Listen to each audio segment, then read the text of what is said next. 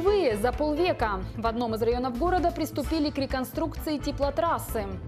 В траншеи «Холодильник», в борще «Лимон».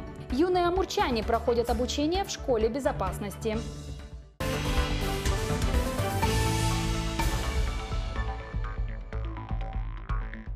Об этом и многом другом расскажем через несколько секунд. Добрый вечер. В эфире новости информационного агентства «Город». Меня зовут Елена Хохулина, и мы начинаем.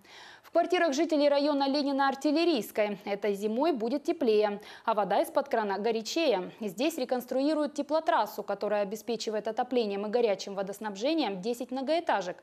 Сейчас на одном из участков заканчиваются монтажные работы. С какими трудностями коммунальщикам пришлось столкнуться в процессе, знает Юлия Мишурнова. Шум под окном собственного дома – вещь, конечно, неприятная, но за терпение местным жителям воздастся зимой. Теплотрассу в квадрате улиц Ленина, Мухина, Зейская, Артиллерийская в последний раз ремонтировали аж в 1959 году. Проржавевшие от старости трубы не раз подводили жильцов, а мелкого их ремонта хватало ненадолго. В этом году коммуникации решили заменить. Работы идут уже неделю. На этом участке график работы выполняется в полном объеме.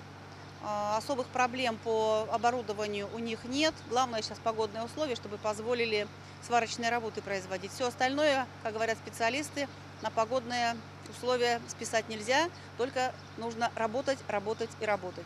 Всего специалисты планируют заменить почти 400 метров труб, а после провести работы по благоустройству. На все про все коммунальщики потратят порядка полутора миллионов рублей. Сдадут участок теплотрассы на следующей неделе. Получилось бы и быстрее, если бы не некоторые «но». Не каждый житель э, стремится убрать свой автомобиль, свой автомобиль, дабы не мешать проведению работ. Вторая большая проблема – железные гаражи, которые стоят э, без всяких разрешений, согласований как правило, чаще всего, даже здесь, на этом участке сети, гаражи стоят в охранной зоне тепловых сетей. Меж тем, дискомфорт для самих жителей специалисты попытались свести к минимуму. Работы здесь начали в период планового отключения горячей воды. А это значит, что повторно доставать кипятильники и подключать бойлеры благовещенцам не придется. Всего же в этом году АКС планирует заменить по городу порядка 730 метров водопровода и 190 канализации. Сделать это предстоит до конца сентября. Юлия Мишурнова, Денис Лугов, программа «Город».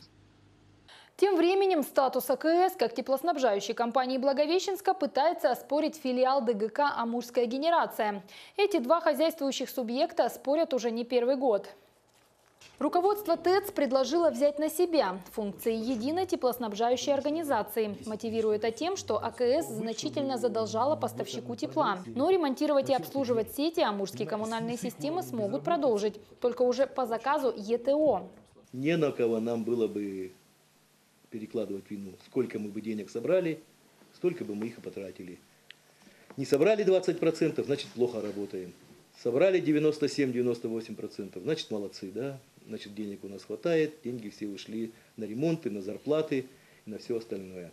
Впрочем, смена теплоснабжающей компании – процесс непростой. И в этой ситуации администрация города продолжает занимать четкую позицию. Никакие разногласия не должны сказаться в конечном счете на комфорте потребителей, простых горожан. Тут самое главное для администрации, э, определяя единую теплоснабжающую организацию, значит, определить, там же не, не только выбрал и все, там и аварийная служба подчиняется, и э, переход на эксплуатацию. То есть там достаточно большой круг обязанностей у ЕТО. Поэтому здесь э, так вот, чтобы шашкой махнуть, вот сегодня был один, завтра другой, но это не, торговый ларек, это целый город, целый, целый э, организм, который живет.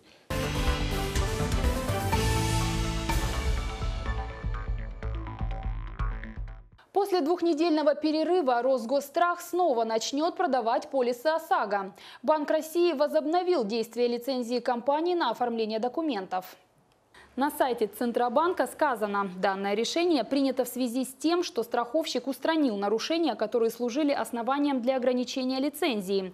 Теперь Росгосстрах снова имеет право на выдачу страховых полисов. При возникновении проблем с заключением договоров ОСАГО или с урегулированием убытков в страховых организациях Банк России рекомендует обращаться с жалобой в службу банка по защите прав потребителей финансовых услуг. Обращение можно направить в электронном виде через интернет-приемную Банка России на официальном сайте сайте. Автомобили, занимающие места для инвалидов, будут эвакуировать. Такие поправки в Кодекс об административных правонарушениях и в Закон о безопасности дорожного движения утвердил Владимир Путин. Штрафы, предусмотренные за стоянку на парковке для инвалидов, сейчас они составляют от 3 до 5 тысяч рублей, уже перестали отпугивать здоровых водителей. Поэтому президент России решил уточнить порядок эвакуации авто таких недобросовестных парковщиков. Стоит отметить, что увозить машины на штрафстоянку можно будет только в том случае, если под запрещающим знаком висит еще и табличка, предупреждающая о том, что работает эвакуатор.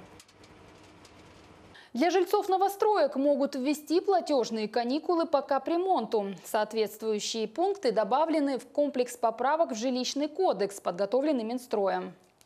Комитет Госдумы по жилищной политике и ЖКХ уже рассмотрел их и рекомендовал к принятию во втором чтении. Обитателям новых домов не придется оплачивать капремонт в течение 3-5 лет.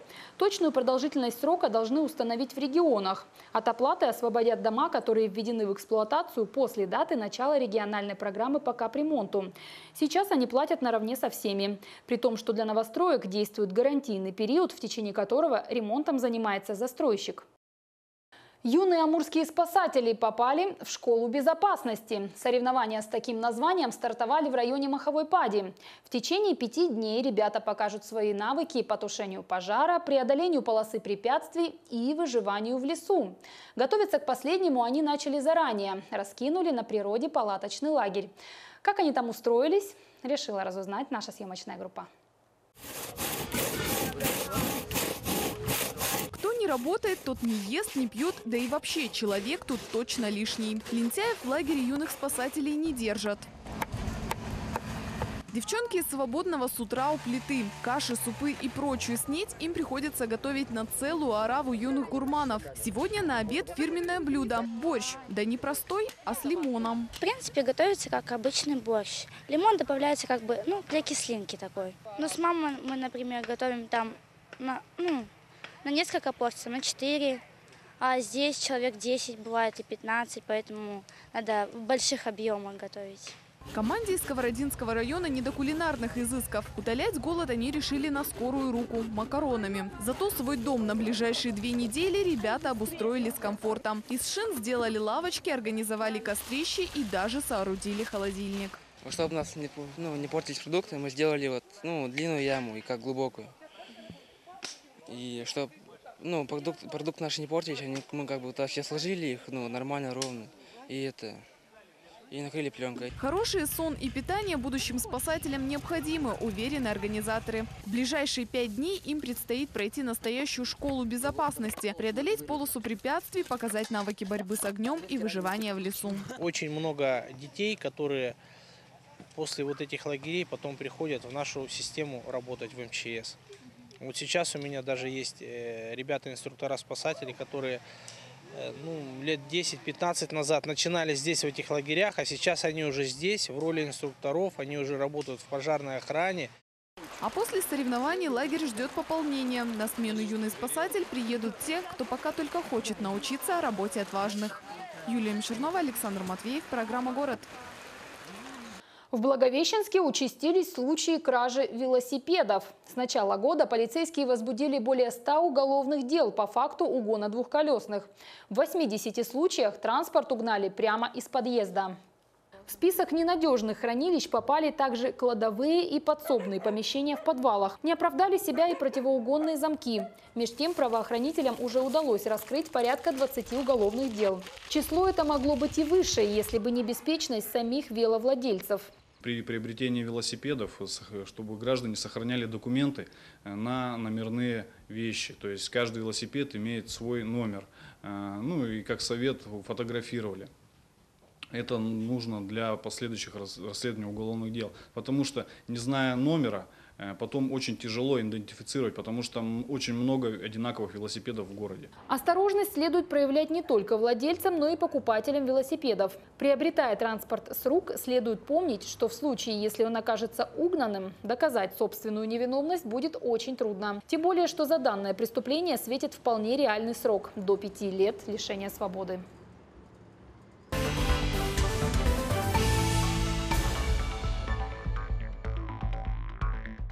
ЕГЭ по русскому языку амурские выпускники написали как минимум в два раза лучше, чем в прошлом году. 100 баллов набрали 19 человек. Еще 48 не хватило всего двух баллов до абсолютного результата. Единый госэкзамен по русскому языку сдавали более 4 тысяч амурских выпускников. Число 100 бальников при этом увеличилось в 6 раз. Больше 76 баллов получили 48 человек. Это в два раза больше, чем в прошлом году. Минимальную планку в 24 балла не смогли преодолеть 13 амурчан. Следовательно, экзамен они не сдали. Благовещенские аквайсы готовятся покорить Желтую реку. 12 и 13 июня шестеро амурчан в составе сборной страны примут участие в международном турнире по плаванию в реке Хуанхэ. Конкуренцию им составят более 200 пловцов. Свой заплыв наши спортсмены посвятят Дню России. В восьмиградусной воде атлетам предстоит перебраться с одного берега реки на другой. Это примерно 500 метров. Сложность заключается в том, чтобы попасть в створ, ширина которого не больше двух метров. Сделать это, учитывая скорость горной реки, крайне трудно. Таит Тибет и другие сложности. 3000 метров над уровнем моря, то есть э, э, условия кислородного голодания. И вот э, мы ведем, везем с собой аппаратуру, проверяем свой организм, также и холодная вода, то есть на улице будет где-то, наверное, градусов 40 тепла, а вода где-то 8 градусов. То есть резкий перепад температур. Впрочем, спортсмены уверены, домой без медали они не вернутся. Тем более, что даже в таких жестких условиях можно отыскать свои плюсы. Невероятно живописные места и чистейшую горную воду. Благовещенец нашел необычное применение старым сантехническим трубам и проржавевшим часовым механизмам. Из того, что обычно отправляется на склад металлолома, он создает оригинальные предметы интерьера, украшения и даже одежду в стиле стимпанк. Интересно, что это такое? Тогда смотрите наш сюжет.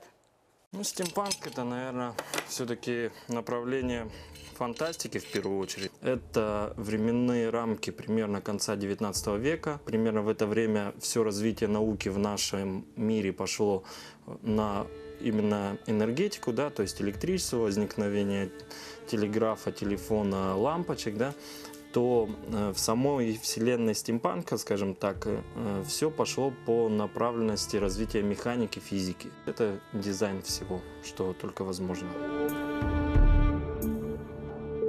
есть особо популярность все это получило и японцев. У них там много мастеров, которые э, прямо на поточном режиме все это изготавливают да, для людей. Но чаще всего такие любители, они приходят не за готовым изделием, они приходят с идеей.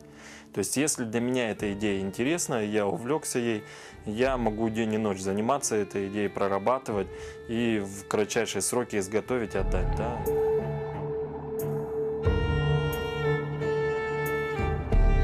Раньше при ГДК проводились ролевиками конференции именно по различным увлечениям.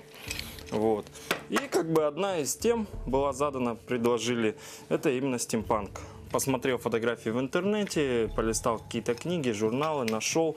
Ну и как бы понял, что мне сами изделия интересно попробовать сделать. Чаще всего все соединения закупаются в магазине, ну если не брать в расчет какие-то вот старые, да, различные латунные краны советского производства. Сантехники, когда в домах меняют различные узлы сантехнические именно, э, частенько мне притаскивают. Если рассматривать, э, например, светильники, да, то есть стоимость самих вот этих сгонов, углов, кранов обходится где-то около 2000 один светильник.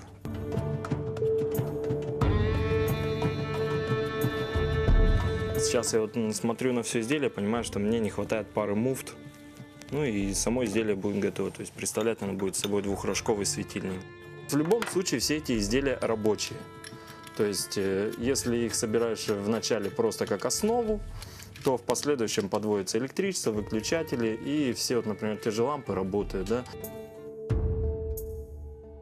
На сегодня у меня все. Напоминаю, что наши новости всегда в доступе на сайте tvgorod.ru. Связаться с редакцией новостей можно по телефону 52 42 02. Приятного вам вечера. До встречи в эфире. У меня было самое лучшее детство Я таскал абрикосы во дворе по соседству дергал за косы отличницу Зойку плакал под пионерскую зорьку А по воскресеньям под в гостях у сказки. Я шил в одном марлевые повязки Я полил дымовухи и бросал их с балкона. У меня на стене был плакат Сталлоне. Меня не возили в Европу на лето Мне не покупали PlayStation 3 Зато, зато у меня было детство У меня было детство У меня было детство у меня было самое